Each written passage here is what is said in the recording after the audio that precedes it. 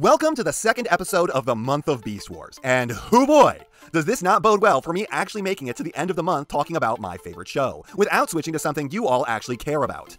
Every time I show one of these charts, people get confused, so let me explain. The fat gray line is a projection based on how my videos normally do. So, according to this chart, in this amount of time, a video of mine would normally get between 8,000 and 10,000 views. The blue line is how this video actually did, getting under 5,000 views. So anywhere from 30 to 50% less than normal. So, uh, your likes please give and comment and subscribe and all that stuff? I'm not joking, that really does help.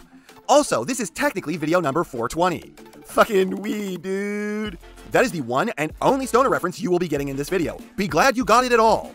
Anyways, on to the subject of this episode. I have covered quite a few original Beast Wars figures at this point, and every single time they have impressed me, holding up not just as an older figure, but as something you wouldn't even be ashamed of nowadays. So it brings me great joy to say, Finally, we've run into one that was just shit even at the time. Oh, what a gloriously rancid piece of trash I have for you today. A sickly and diseased piece of excrement vomited out on the floor by a dog that then ate it again. And let me tell you, I can't express how excited I am to revel in how much this thing sucks. It's Beast Wars Wolfang, a figure I still bought two of so I can have a carded copy because I am a psychopath like that.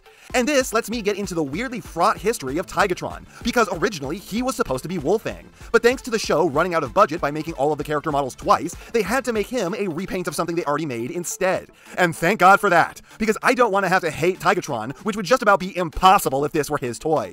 I don't know if a Transformers figure has ever been a bigger failure. On every level, in every way, this thing is a travesty, a sin against us, proof that if there is a god, he hates Transformers fans. My dear lord, what a piece of shit. Has there ever been a figure with more invasive kibble? This fucker parts forms off huge chunks of the beast mode, and yet he's still choking on remnants of the alt mode that shouldn't be there. He's always standing in some kind of awkward power stance because he can't get his arms down to his sides thanks to the immense saddlebags he's got. His head is crowded by the wolf mode's neck. The wolf's arms are colliding with those, which really is inhibiting his arms overall. It's all just a mess and it looks worse. And I ain't even talking about his stat card yet. Function Infantry. Swift and agile, Wolfang prefers to hunt cloaked as an animal, but quickly converts to robot mode for battle. All the Cybertronians do that, dude. You'll die on patrol in robot mode. You aren't a special lone wolf for doing what everyone else is. Where was I? But quickly converts to robot mode for battle. When, should beware, he can utilize his secret attack launcher disguised as his tail. So you have a gun. That's not a secret, you asshole. Everyone has one of those. Here, let me shoot you with my secret giant fucking thing I have in my hand.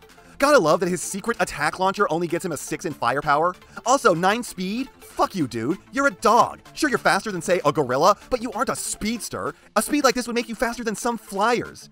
8 strength? What, did you write this yourself? Did you think that because you can't get your arms down to your sides, it must be because you're just so muscular? No, dude, you just have pockets with too much shit in them. And then you give yourself an average intelligence with a 5. Not a single below average stat.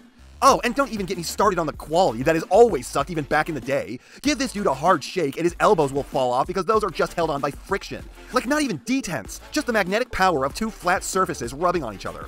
All of his kibbles and bits want to come off just about the same way, like his mask, his arms don't have the grip to hold themselves up, and none of this is due to mold degradation. I had this growing up. It was always like this. The only good thing I have to say about this whole figure is that the way the feet are designed is really cool. It's got like a piston in the front made out of dog leg, and even then as a kid I constantly tilted the legs up like this because I thought they were cooler without the dog pistons. Also, no joke, just while leaving this on my desk so that way I can form my observations and write this review, his arm has fallen off three times. It's totally not going to happen during filming because that would be convenient for me, but it is something that I'm consistently dealing with right now. And then you've got the worst head in Transformers history. I might not even be exaggerating. For starters, you got his mutant face, which is just a ridiculously oversized domino mask. It looks so stupid because the eyes are wider than the actual head, and they're too low. His field of vision has to be something like this. But then you lift it up, and oh my fucking god, that is the worst thing I have ever borne witness to. Sentinel Prime can go screw himself. The biggest chin in Transformers. Please. This dude sets his dinner on his chin and then tilts his head back to eat. Who in their right mind came up with this idea? This is just about the ugliest thing I have ever seen. I can only imagine the dumbest sounds possible escaping this worthless hole in his face. He's got an expression like a Muppet and a chin that gets laughed at by Robert Z'Dar's. Not because Z'Dar's was bigger, but because it made his look reasonable. This is so agonizingly bad. And for what? Why did they do this? So the domino mask can meet up with his chin? Why is that at all important? Is it so this dumbass can look like he can talk? I hate this with all of my soul. So the look of this thing is butt ugly, and the quality is bad. But then you get to the accessories, and I hate these too. I have no words for how much it bothers me that his gun has this bend in it because it's supposed to be his tail. That is not an excuse that puts even one bucket of water on the inferno that my OCD is right now. My skin crawls looking at this finger quotes gun. It makes me angry. And then you got his stupid shield, which I do have to hand it to them. It looks more like a shield than the crap that Earthrise Cliffjumper has going on. And while that's true, at the same time, it is still terrible. I still loathe what I am seeing. It's crooked because his wrists don't rotate, and this is just throwing more gas on the fires in my OCD brain right now. This figure is causing me physical pain. And then he's got his missiles that I seem to have lost somewhere that plug into his stomach, which you can see right through without them. It's kind of cool, they have an aesthetic while they're there, but they weren't worth keeping handy for the year I waited to review this thing. So I honestly hate both of these. I want to not have them, to the point where as a kid, I threw these away, and then the posability on this sucks too because of all the kibble, so guess what? As a kid, I also ripped off all these parts and threw them away. This thing is so bad that as a child, I turned it into a red figure because that was an improvement. Have I ever said anything that heinous about a figure before?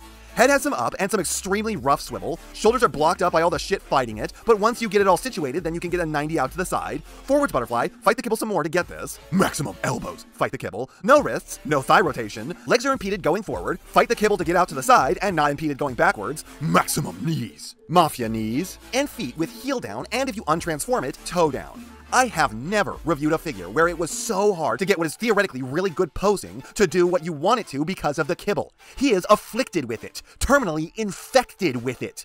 And then you get to the transformation, which is also just terrible. There is so much bullshit hanging off this dude that everything clashes into each other, parts want to pop off, you need to scrape by everything to get it where it needs to go. Oh, and then there's the massive parts forming with pieces that if you lose them, this thing will never look complete.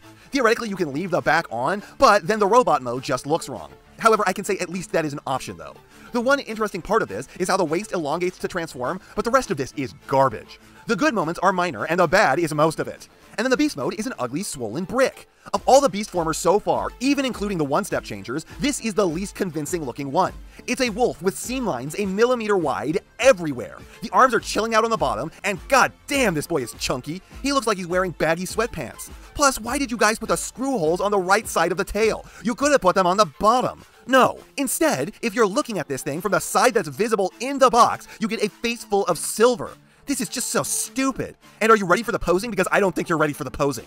Back legs have a little out, a little forward, and a little back. And then maximum knees. And that's it. He literally only has rear leg articulation, which I don't know about you, but I don't find all that useful. So overall, this thing sucks like a black hole. There is nothing good about it. The robot mode looks cancerous, covered in kibble so bad he can't breathe. The quality is garbage, constantly popping joints. The head is horrible, looking like a rejected animated design that was discarded for being too ugly to live. The accessories are stupid, giant, and awkward, though you can at least leave the shield on the back in robot mode, even if it's kind of a pain to transform him around it. And if you lose that piece, then the alt mode is ruined, though ruined is a subjective term when dealing with something that's already that bad. The posability, once again, would be great by even modern standards like most Beast Wars figures. Unfortunately, the kibble rears its ugly head once more, making using any of that a nightmare. Transformation is a pain, and if you don't pop something off while doing it, you will be lucky. And the Beast Mode is basically just a really bad statue of a wolf that looks neither fun nor accurate. This is a goofy ass, lame piece of flabby trash whose best quality is that it actually stands easily without falling over. The only original Beast Wars figure that I can think of off the top of my head, I just warn people not to buy, that doesn't have gold plastic syndrome. And that's not half of the trash I can talk on this thing, but it is enough of the insults I can hurl its way for now. And I know, you know, what everyone else tells you to do at the end of these videos. So, if you liked what you saw here, please do that. And if you'd like to take it a step further, then please share this video with any friend you think may be interested. I hope you all enjoyed listening to me waste your time.